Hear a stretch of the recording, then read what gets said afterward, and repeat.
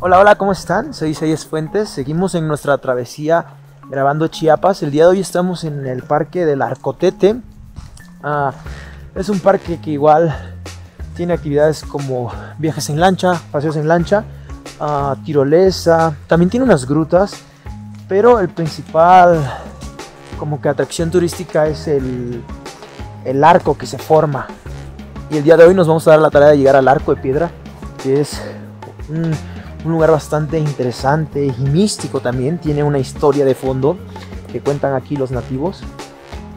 Y pues esperemos que sea un recorrido bastante agradable para ustedes. La recomendación de siempre de estos lugares es que pues, son caminos donde siempre se desciende o se asciende. Y por lo general los caminos pues son de piedra o de lodo.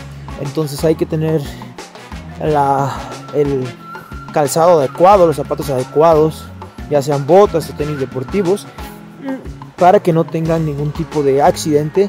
Por estas fechas de diciembre suele llover.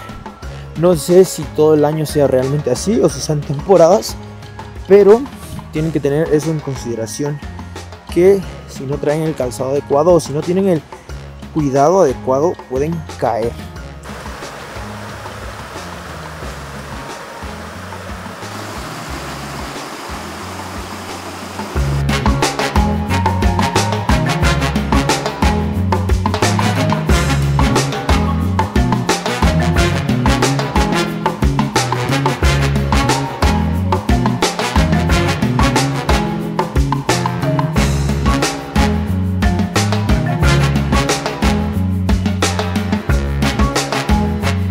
Mi espalda está el arcotete, esta formación de piedra que se generó a través de miles de millones de años por la erosión y también por la lluvia.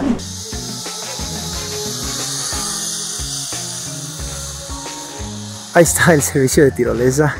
Es un lugar bastante interesante, además de que es súper familiar. Aquí hay lugares como restaurantes, incluso hay cabañas para que se queden a dormir. Rentan las palapas en 100 pesos y pues sinceramente te ofrecen todo un día de experiencia, de experiencia tipo aventurera